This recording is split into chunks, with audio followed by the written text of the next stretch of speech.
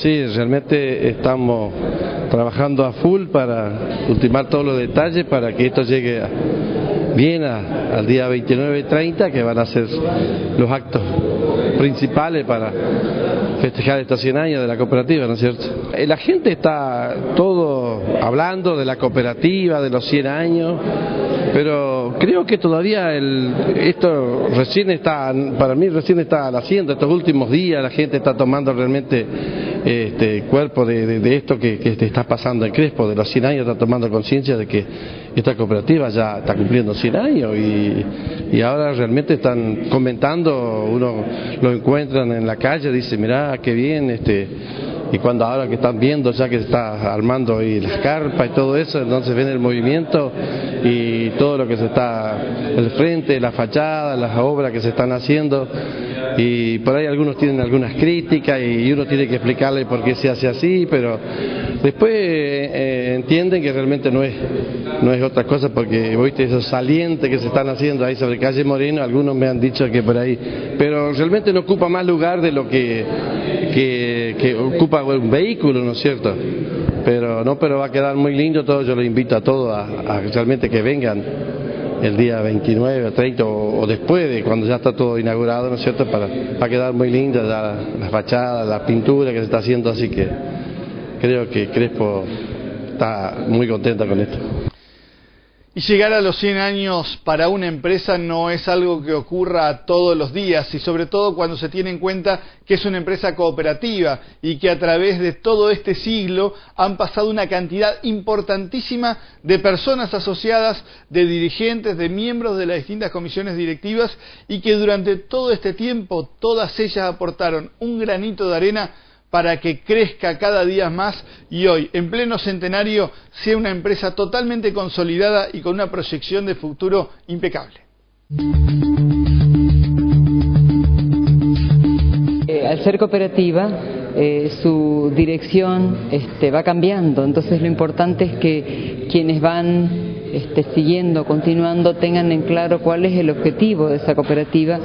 eh, y, cómo brindar esos servicios, cómo mantenerse viva. Para que una empresa se mantenga viva, tiene que ser sustentable, sustentable en lo económico, en lo social, tiene que saber entender cuál, cuál es su objetivo y, este, utilizar los recursos humanos, económicos de la mejor manera posible.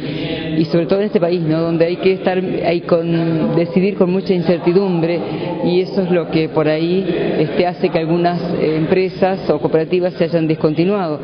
Creo que esta cooperativa ha continuado y va a continuar muchos años más este, siempre que tengamos en claro cuáles son los objetivos y siempre que sepamos entender a los asociados y ir adecuándonos a las circunstancias.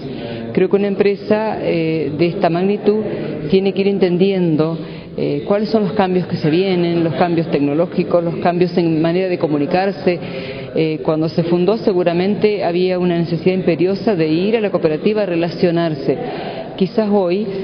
ese, relacionamiento continúa en el supermercado, pero hoy los jóvenes se relacionan mucho por internet, eh, su, modo de, sus vivencias son diferentes y sus necesidades van cambiando. Eh, creo que la cooperativa tiene que ir desde el enfoque económico, de, ese, enfoque de agregarle valor a la producción este, local y regional, tendrá que ir entendiendo y tendrá que ir acercando a las personas de la manera que las personas quieren acercarse a la cooperativa pero no perdiendo eh, esa mística de, la doctrina cooperativa y tratando de lograr más integración. Eh, si uno ve la historia de, este, Entre Ríos en cuanto a integración, quizás tenemos algunas materias pendientes los entrerrianos que al momento de cuando se fundó la cooperativa y algunos años eh, atrás se iban integrando mucho más las cooperativas según las necesidades que tenían y después, bueno, han ido creciendo en forma quizás individual, quizás este, el, avance tecnológico esté exigiendo hoy en día mayor integración. Y los principales actos conmemorativos de este centenario se van a llevar adelante el próximo 29 de abril y el 30, donde se cerrará con una gran cena que seguramente va a dar mucho que hablar. Este mes, bueno, concretamente es el tema del 29, inaugurar la nueva fachada y, este mural que es un mural este, que va a quedar para la comunidad de Crespo y, digamos como un, un agregado cultural a la ciudad este, que lo va a desarrollar este artista mm, Marino Santa María, de mucha trayectoria, ha sido rector de la Facultad de Bellas Artes de la Universidad de Buenos Aires y ha tenido muchas intervenciones este, urbanas en la calle Lanín, en, varias partes, este, con, mucho renombre y ahora está trabajando mucho también para el Bicentenario de Argentina. Le han pedido desde la Nación varios, varios trabajos, así que él de todas maneras hizo un lugar y ha hecho reuniones con gente de la cooperativa para interpretar qué era lo que nos este, iba a identificar mejor y creo que lo está logrando en los bocetos que nos ha mandado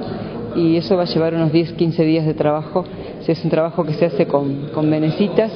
trabajo muy minucioso, este, pero tiene el alma del artista. Estamos preparando una carpa para 3.000 personas que si supera podemos llegar hasta las 3.500 entre eh, lo que más no de ahí no, no vamos a, vender tarjetas hasta esa cantidad pero la gente que se acerque y van a disfrutar de, muy buen espectáculo y de una muy buena cena eso está garantizado por la, por la gente que hemos contratado para, para eh, eh, realizar este evento. Así que los invito a todos que se acerquen a la cooperativa a comprar sus tarjetas porque hasta el 20 tienen tiempo de, de adquirirse las tarjetas de la cooperativa.